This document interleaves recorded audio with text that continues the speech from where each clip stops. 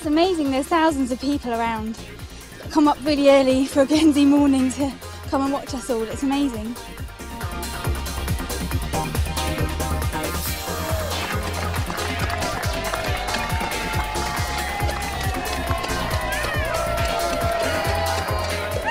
Fantastic. Uh, the atmosphere here is electric today. Um, know, so many people have turned out. It's great to see, and uh, just proud to be carrying the torch.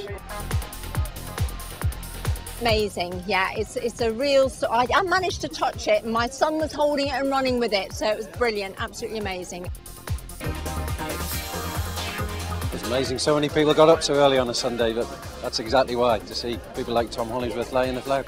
I never thought I'd see like the real Olympic torch, just like walking all the way around town.